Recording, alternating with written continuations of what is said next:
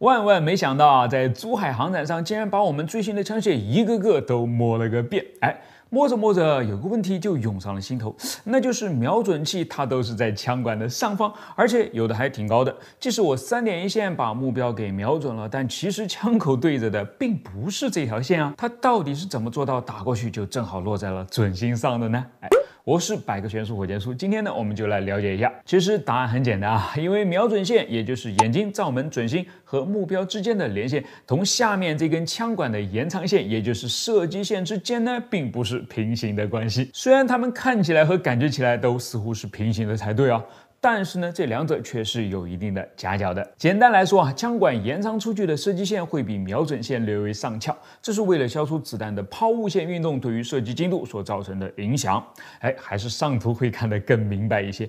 图中的红线呢是瞄准线，由于只是一根假想线，所以不会受到物理世界的影响，一路出去都是笔直的。而黑色的线呢，就是子弹打出去的轨迹线了，它会是一条明显的抛物线。我们可以从中看到两个信息，一个是它出膛的时候呢，就是往上走的，说明射击线同瞄准线之间是有夹角存在的。第二个是啊，它同红色的瞄准线之间呢有两个交叉点，图中两个交叉点的位置呢，分别是在三十米和两百米。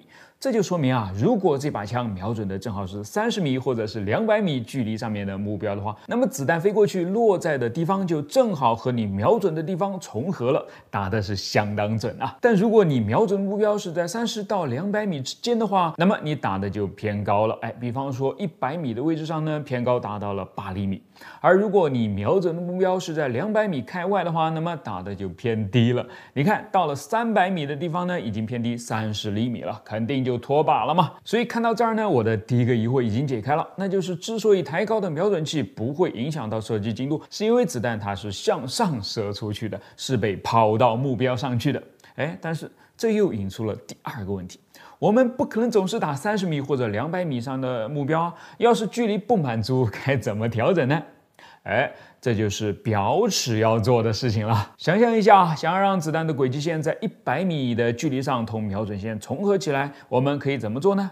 之前在一百米上，它是比瞄准线高了八厘米，对吧？那我们是不是只需要将枪管抬得低一些，减小瞄准线同射击线之间的夹角，就能够让子弹在飞到一百米的时候正好落在瞄准线上了呢？哎，就像这样一样。同理啊，如果想要击中三百米处的目标，那把原本已经矮了三十厘米的枪口抬高，加大瞄准线同射击线之间的夹角，是不是也就完美解决问题了呢？所以表尺要做的啊，就是能够依据目标位置来自由的调整瞄准。线与射击线之间的夹角该怎么做呢？拿最直观的立框式表尺来举例啊，在它立起来的框架里面呢，有一个能够上下移动的罩门。当把罩门放到最上面瞄出去呢，瞄准线同射击线之间所形成的夹角自然就是最大的状态了。所以它瞄准的就是最远的目标。比方说，这个表尺上标注的数字十五呢，就表示着一千五百码的距离，大约是一千四百米不到。对于步枪来说呢，已经非常远了。